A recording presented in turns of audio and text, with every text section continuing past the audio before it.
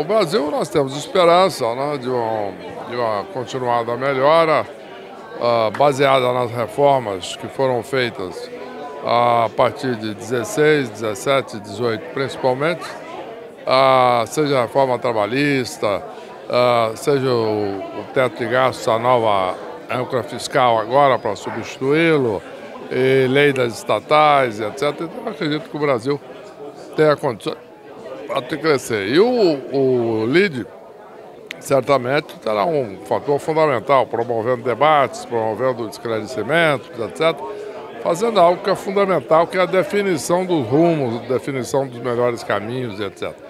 Então, é um momento importante, um momento novo, e acreditamos muito no futuro do LID.